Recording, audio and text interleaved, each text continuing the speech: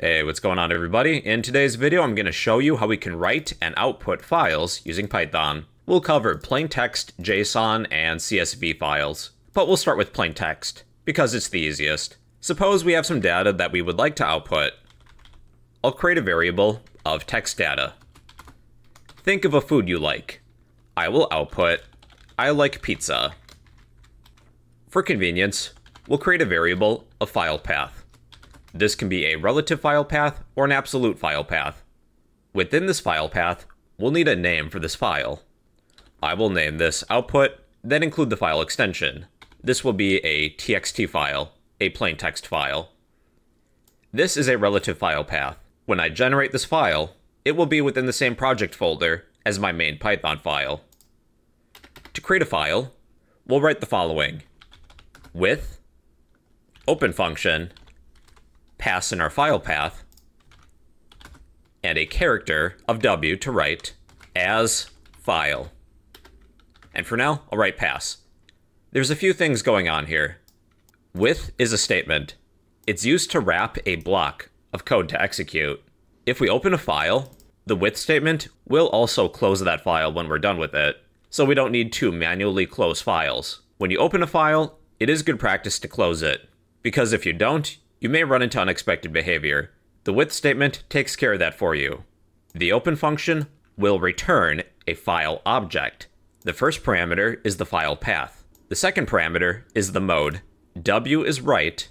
X will also write if this file doesn't exist. If it already does exist, we'll receive an error.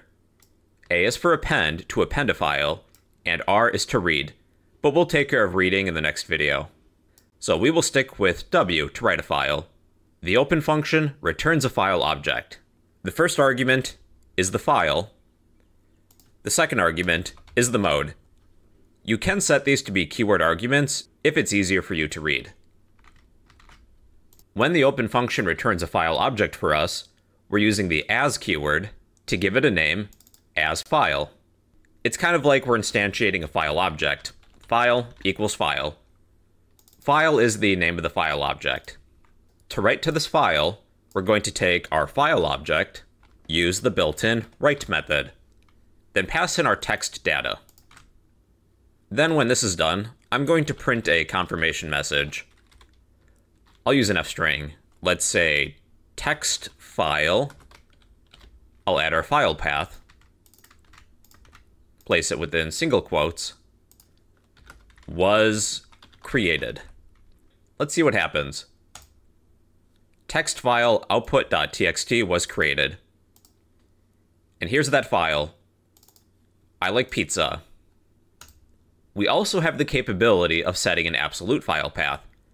Let's say I would like to output this file to my desktop. I would just need that location. Let me just get the location from one of these folders by going to Properties. I will copy this location. This is the location to my desktop, but for you it's probably going to be different then I will paste the absolute file path. A backslash is an escape sequence within a string. We either could use double backslashes or a forward slash. Now let's see if this outputs to my desktop. Text file, here's the file path, was created, and here's that file. It's a plain text file and it says, I like pizza. So when working with the file path, it can be a relative file path or an absolute file path. All right, now for our text data, there are different modes as well. W is for write. If we use X, we'll write a file if that file doesn't already exist. In this case, it does. On my desktop, we already have a file named output, and it's a plain text file. So when I run this, with the mode of X, we get a file exists error. That file already exists. We could catch this exception so that our program isn't interrupted. I will copy the name of this error. I will place my code within a try block. We will try this code and catch any exceptions. Except file exists error if this file already exists. let's take a different course of action. Let's print that file already exists. So now when I run this again, our program isn't interrupted. We receive this message. That file already exists. If I were to delete that file, bye-bye, then run this again, well, we create a new file. Text file, that absolute file path, was created. And here it is again. Now for the mode, there's also A, A to append. Any new data will be appended to that file. We get, I like pizza, I like pizza. When appending data, if you would like that data on a new line, we can add a new line character. W will overwrite a file. So we're back to the original. When appending, either before or after we write our text data, we could add a new line character. Let's say, let's do that before. New line plus our text data. Here's the output. Again, we're appending, not writing. I like pizza. I like pizza. Our second sentence is on a new line. Let's run this a couple times. We should have several lines now. Let's work with a collection. Let's say we have a list of employees. We'll pick some employees at the Krusty Krab. So we have Eugene. I guess he's technically the manager. I don't know if that counts as an employee. Squidward. SpongeBob. And Patrick. Patrick worked at the Krusty Krab in one episode. He counts. Then we'll have to be sure we're writing our employees.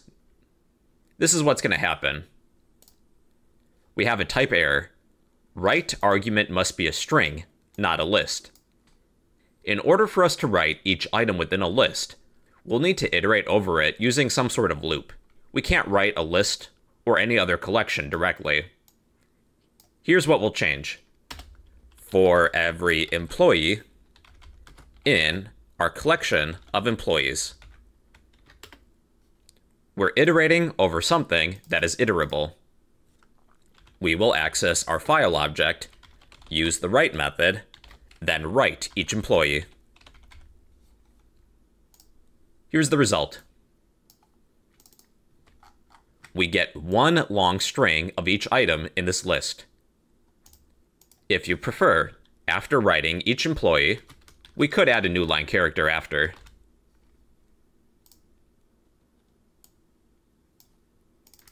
Here's the output. We get each item in our list on a new line. Or rather than a new line character, we could use a space. This would output all the employees, but space them out. Now we'll be outputting a JSON file. In summary, a JSON file is made of key value pairs. For our data, let's say we have a dictionary of employee a dictionary is made of key value pairs. We'll have a name of SpongeBob.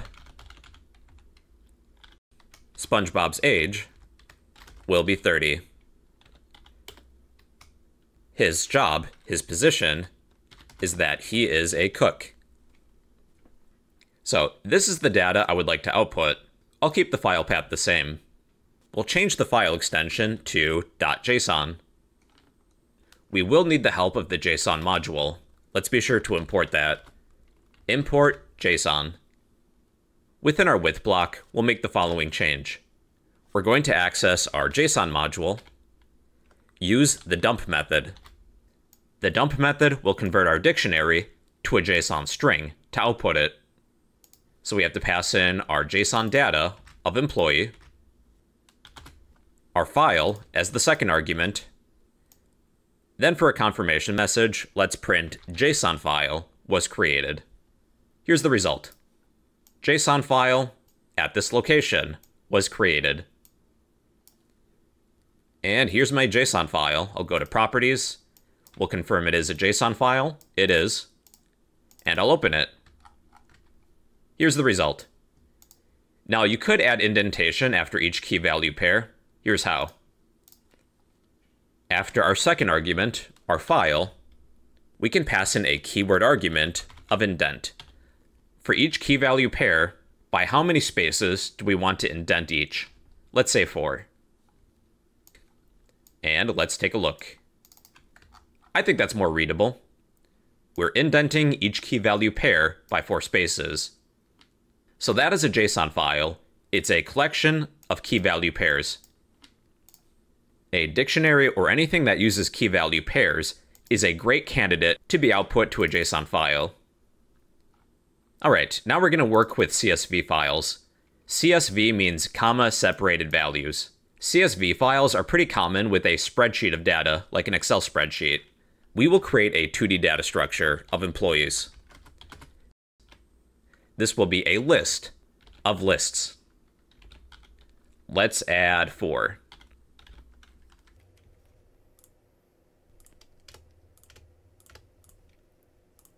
We'll need the help of the CSV module. Import CSV. Think of our 2D data structure as a table of rows and columns. So for the first row, I will add name, comma, age, comma, job. The second row will have a name of SpongeBob, age 30, job, cook. For the next row, we'll have Patrick. Patrick will be 37. What is Patrick's job? I don't know. He's unemployed. Then we'll have Sandy. Sandy will be 27. Sandy is a scientist. Okay, now with our file path, the file extension is going to be a CSV file, comma separated values. Within the context of our with block, we're going to create a writer object to write to a file. Writer equals access the CSV module, use the writer method of that module, then pass in our file. Writer is an object. It provides methods for writing data to a CSV file and then we'll print a confirmation message of CSV file was created. Here's the output currently. We have a CSV file. I'll go to properties to confirm it. Well, we have no output. We have to iterate over all the rows in our 2D collection. We'll write the following. For every row in our data of employees, we'll take our writer object, use the write row method, and pass in that row that we're iterating over. Now let's take a look. That's better. However, the writer method gives us a new line after each row. So if we would like to prevent that, when we open this file, I will set the keyword argument of new line equal to no characters, an empty string. Let's take a look again. Yeah, that's much better. So this is a CSV file. It's made of comma separated values. Alright everybody, so that is an introduction to writing files using Python.